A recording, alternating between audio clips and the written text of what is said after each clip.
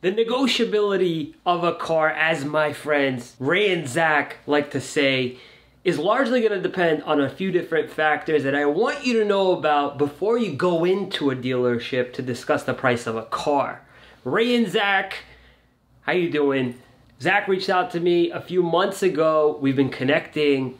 Comment in the description below whether or not you think me and your auto advocate should do a live stream together, a video of some sort. Let us know in the comment section below. What I want to talk about in this video is some things that you should know when you're negotiating a car, and a lot of it has to do with what Ray and Zach have put together called the Market Price Report over at yourautoadvocate.com. I want you to use this tool as well as some of the tools that I have in the description below to be able to get the best price on a car. And in this video today, I wanna break down for you exactly how you should go about doing it. What is happening guys? Ari here from Boston Automotive Consulting. And in the description below, you're gonna find resources such as your Auto Advocate's Market Price Report tool, as well as Links so that you can shop around for not only the best new car deal, but check out vehicle specific incentives as well as estimate lease and finance payments.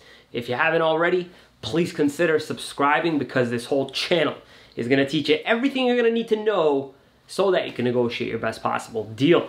Now, after using the market price report tool on your auto, your auto advocate's website, I noticed that the negotiability of certain vehicles was a lot lower on some and a lot higher on others. Ray puts a little bit of a recommendation on each and every vehicle's VIN number that I used, I plugged in so that I could see exactly how negotiable, what's the negotiability score on this vehicle. What I did was a little bit of an experimentation that I want you to sort of wrap your head around a little bit what I was focusing in on. I had a client reach out to me, ask me, Ari, what's better? Should I get a Toyota CRV a Toyota CRV, a Honda CRV, or should I get a Toyota RAV4? And I said, okay, let me get very, very specific as to what's happening right now.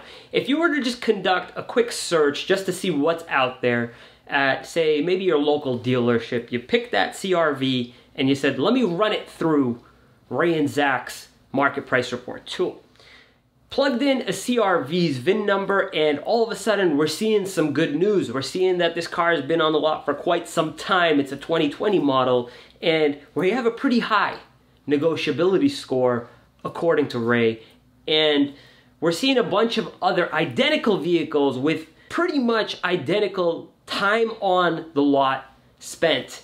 Now what we're seeing right now is a, an abundance of 2020 inventory and an abundance of time being spent on the lot. These are two key indicators that the dealership really wants to get rid of this car.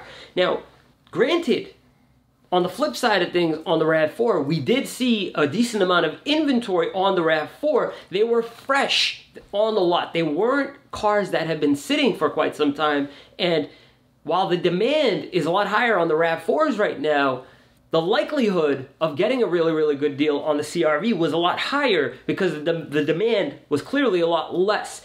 Because the car spent a lot more time on the lot, we were talking about a lower demand on the CRV, plus the fact that they were 2020 model years. This is not something, I'm not 100% sure if this also is incorporated in Ray and Zach's algorithm, but it is incorporated in my mental algorithm as to whether or not this car is going to give me the better deal or that car is going to give me the better deal. However, it was a key indicator for their algorithm for the amount of time spent on the lot. Now, plugging in both VIN numbers, I did see a much higher negotiability score on the CRV because of a lot longer time spent on the lot on the CRV and actually a lot higher and actually a little bit higher amount of inventory, albeit 2020s, on the CRV. Now what Ray and Zach do is they give you the recommendations on these cars and I love it. I love the fact that they give you recommendations saying, listen, you're probably not gonna get a great deal. You'll probably get a really, really good deal. Go at it. And what this does is it sets you up for, okay, which dealership or dealerships should I be targeting? Because they also list off similar vehicles and the similar vehicles that have also have similar time spent on lot, what I do is is that I take I take the recommendations that are you can tell I'm kind of excited, right? I take the recommendations that Ray and Zach are making, and what I do is I typically use either my template or even Ray and Zach's template that they have in this video, buy a car online with these free email templates. I'll put the link in the description below.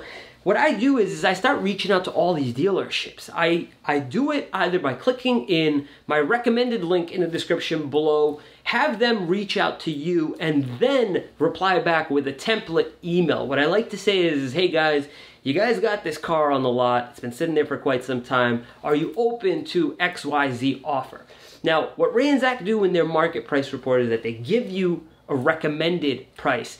I want you to use that recommended price as a minimum. I understand the pain, Ray and Zach, that giving a recommended price is not going to work in every single region. If Ray gives a price estimate or a price recommendation in one place that's a lot more aggressive, say he gives that recommendation in like Boston, for example, that probably won't hold true out in, say, Minnesota. Nothing against Minnesota, lovely place. However, he has to be a little bit conservative. What you should be doing is being a little bit absurd and stupid, go crazy, offer them like 15% off of the MSRP, or use that 1% of MSRP as the lease payment, 5% of MSRP do at start that I like to estimate. Just shell out insane offers. Do it for every single dealership that's showing a similar vehicle on Ray and Zach's list and start playing that ping pong match with all these dealerships utilizing one price quote, shopping it against another, yada, yada, yada, and bam, you got yourself a fantastic deal. Wonderful work by Ray and Zach over at Your Auto Advocate. Again, let me know in the description, in the comments rather, if you want us to do a video together.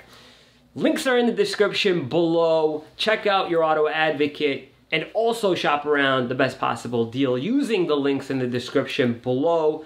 Check out vehicle specific incentives and estimate lease and finance payments. If you haven't already, please consider subscribing. Not just to me, but to your auto advocate as well. Thank you so, so much for watching, guys. We'll see you next time.